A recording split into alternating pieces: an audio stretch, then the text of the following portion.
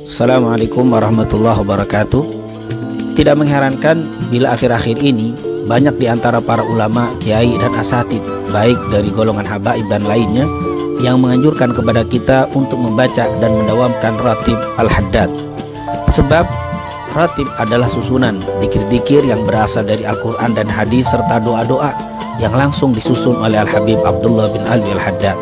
Beliau adalah seorang ulama yang tidak diragukan keilmuannya, yang memiliki sifat zuhud, warok serta kebersihan hati yang luar biasa. Beliau dilahirkan di kampung Subair, kota Tarim Hadramut Yaman, tepatnya pada tanggal 5 Safar tahun 1044 Hijriah dan wafat pada hari Senin malam Selasa tanggal 7 Dzulqa'dah 1132 dan dimakamkan di pemakaman Zambal di kota Tarim Hadramut. Rotib ini disusun oleh Al-Habib Abdullah pada hari Kamis malam Jumat tepatnya tanggal 27 Ramadan tahun 1071 Hijriah. Karena memenuhi permintaan salah seorang muridnya yang bernama Amir dari keluarga Bani Sa'ad yang tinggal di Shibam salah satu perkampungan di Hadramut Yaman. Adapun alasan permintaan itu untuk melindungi agar mereka dapat mempertahankan dan menyelamatkan diri dari ajaran sesat yang sedang melanda kota Hadramut saat itu. Pertama-tama, khotib ini hanya dibaca di perkampungan Amir sendiri, yaitu di kota Shibam. Kemudian, lama-kelamaan menyebar dan dibaca di Masjid Al-Hawi milik Al-Habib Abdullah ibn Alwi Al-Haddad di kota Tarim. Setelah Al-Habib Abdullah bin Alwi Al-Haddad menunaikan ibadah haji, maka rotib ini dikenal dan menyebar di kota Mekah dan Madinah bahkan dibaca di kedua wilayah yang mulia tersebut wilayah Al-Haramain di masa itu. Biasanya rotib ini dibaca setelah salat maghrib atau setelah sholat isya. Tetapi bagi mereka yang tidak memiliki waktu tersebut maka tidak mengapa untuk membacanya di waktu lain.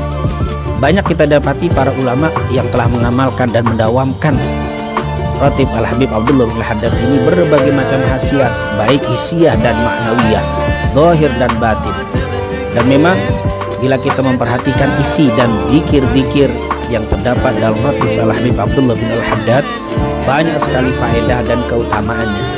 Di antaranya dijaga dari godaan syaitan dan dihindarkan dari berbagai hal yang tidak baik. Baik yang terlihat atau yang tidak terlihat. Hal ini dapat kita lihat dari bacaan ayat kursi dan dua ayat terakhir dari surat Al-Baqarah. Yang kedua, dapat memberatkan timbangan dan mendatangkan begitu banyak pahala. Hal ini dapat kita lihat dari bacaan La ilaha illallah wahdahu la syarika lahul mulku wa hamdu yuhyi wa yumit wa huwa ala kulli syai'in qadir. Begitu juga subhanallah walhamdulillah wala ilaha illallah wallahu akbar. Begitu juga subhanallah wa bihamdi subhanallahil azim. Yang ketiga, dengan membaca ratib Al-Habib Abdullah Al-Haddad mendapatkan ampunan dari Allah.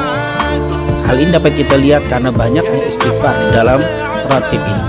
Seperti Rabbana fir lana wa tub alaina innaka antat tawwabur rahim. Amanna billahi wal yawmil akhir tubna ila Allah batinan wa zahira.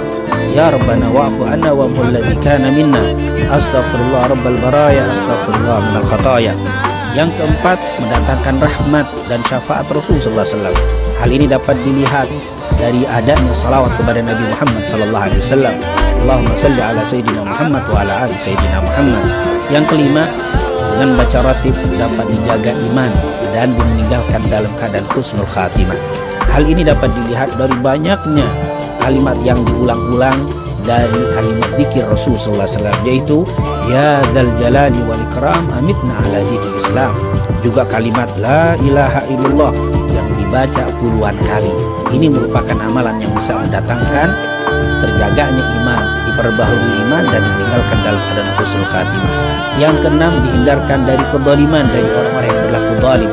Hal ini dapat kita lihat dari kalimat ya qawiyyu ya matin ikfina syarra zalimin.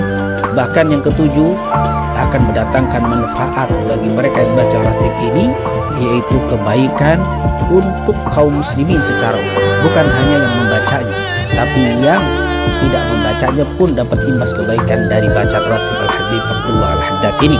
Sebagai membacaan aslallah umarul muslimin syarafallahu syarral murdin dan yang terakhir ratib ini dapat menjadi benteng dari berbagai macam bala, musibah dan bencana.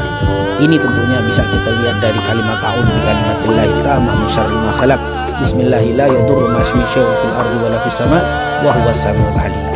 Oleh karena itu, baru kita mengetahui alasan mengapa para ulama, guru dan asatid menganjurkan kepada kita untuk tidak meninggalkan pembacaan rotib Al-Habib Abdullah bin Abu Haddad ini.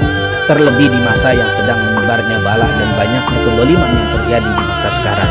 Semoga Allah SWT melindungi negeri yang kita cintai dari berbagai macam bala, musibah, bencana, dan fitnah dan ditebarkan di negeri yang kita cintai rahmat dan keberkahannya. Amin. Amin ya rabbal alamin. Assalamualaikum warahmatullahi wabarakatuh.